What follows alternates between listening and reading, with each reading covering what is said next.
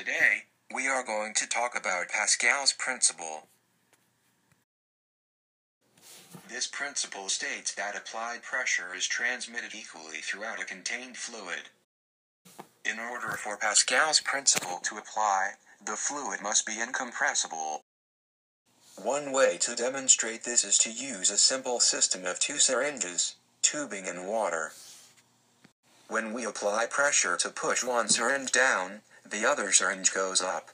Because the fluid is incompressible, the pressure is transmitted from the first syringe to the second syringe, causing it to fill with water.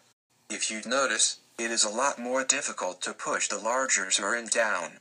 Due to Pascal's principle, the pressure that the fluid experiences at each point in the system is equal.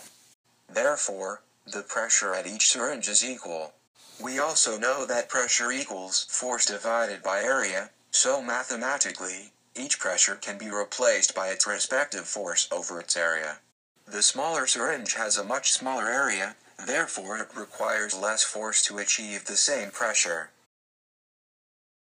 Some of the most common applications of Pascal's principle are hydraulics.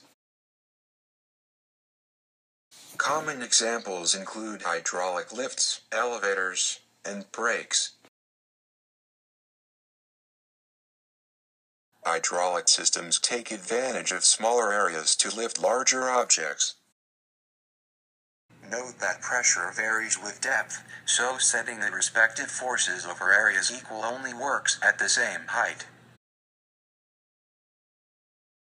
If the points of interest are at different heights, you must also take into account the hydrostatic equation, which says that pressure equals height times density times gravity.